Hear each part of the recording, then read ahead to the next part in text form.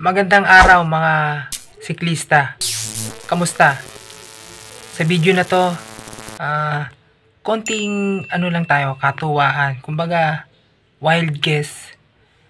Ah, i-share ko sa inyo yung ang aking top 5 na ano, pwedeng manalo ngayon sa individual time trial at sa hapon naman, mamayang hapon, kung sino ang pwede maging top 3 natin sa team time trial.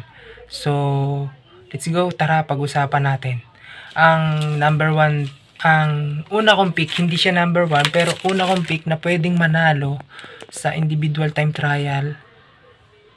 Ito, ang unang-una is syempre si Alpi Catalan kasi alam na natin na alam naman natin, alam ko na may kakayanan siya talagang mag individual time trial. So, Alpi Catalan ang number one pick ko. Is number two si Oranza, syempre, siya ang representative natin sa individual time trial sa nakalipas na SEA Games. Si Ronald Oranza ang isa sa mga pick ko ngayon na pwedeng manalo sa individual time trial o prologue ng Ronda Pilipinas.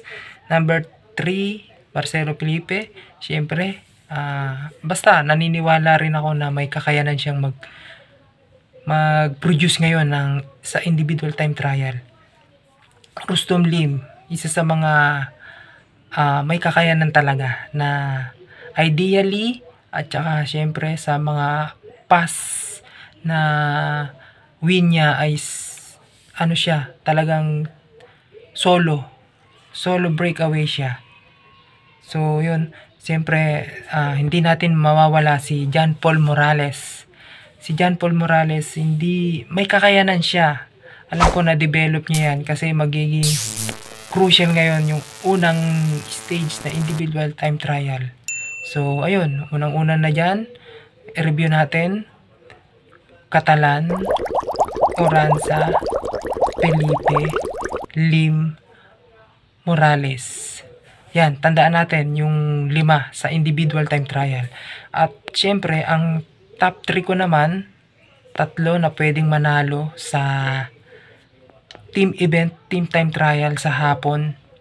Syempre, ang top pick natin is Team Navy, Philippine Navy Standard Insurance. Number 2 is, eto, alam ko, Team Jump Cafe. Ito, kasi mga veterans to, magagaling to. Siyempre, yung number 3 natin, yung hindi mawawala dyan, yung Team Excellent. Yan. Yan yung top 3 natin sa team. Philippine Navy, Team Excellent, Team Champ Cafe. O sige, i-bonus na natin. Pwedeng manalo ang Go for Gold. Go for Gold. So, yun. Hanggang dito na lang tayo.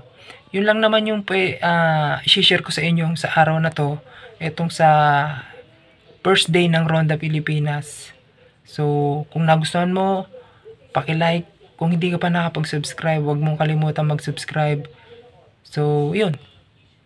God bless. Kita-kits tayo sa susunod. Peace.